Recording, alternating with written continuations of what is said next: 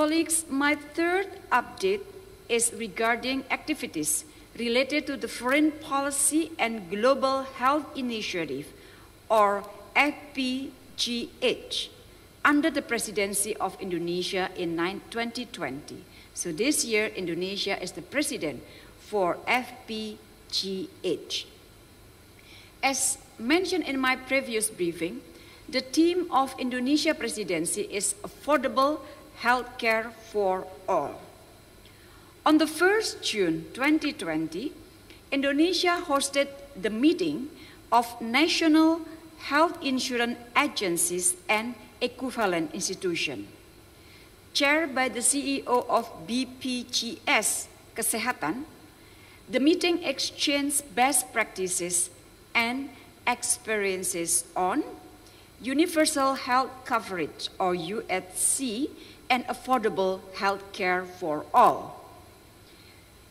Exchange of views also on features and role of social security agencies of FPGH countries in providing financial risk protection for health expenditure.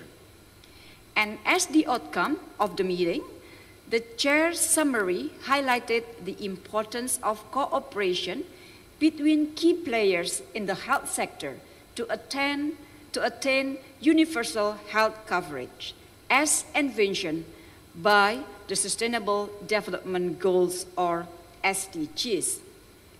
Prominent points highlighted in the chair's summary include the need to support future cooperation to ensure accessibility of affordable health care in cooperation with civil society and private sectors.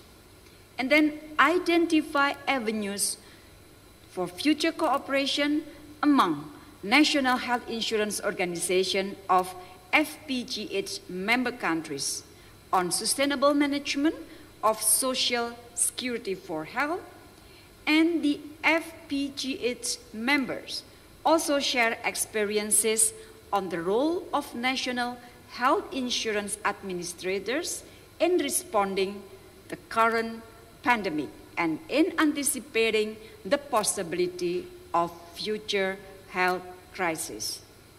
This meeting was also convened as part of the events leading up to the upcoming FPGH Joint Ministerial Virtual Meeting scheduled on the 26th June 2020. Invitation for the meeting have been conveyed to foreign ministers and health ministers of FPGH member countries. Amidst COVID-19 pandemic, synergy between, synergy between global health and foreign policy issues is now more pertinent than ever. And I do hope that FPGH will be able to deliver tangible outcomes to contribute to the mitigation of COVID-19, particularly in ensuring equitable access to affordable treatment and vaccine.